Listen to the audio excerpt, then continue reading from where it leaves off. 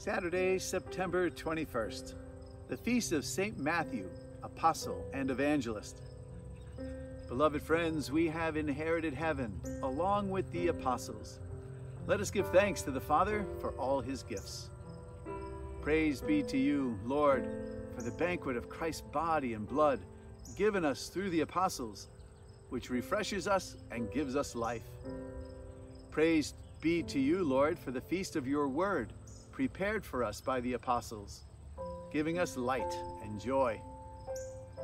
Praise be to you, Lord, for the holy church founded on the apostles, where we are gathered together into your community.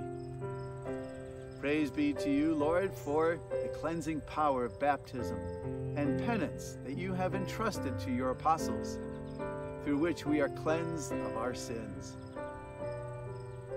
God of mercy, you chose a tax collector, St. Matthew, to share the dignity of the apostles.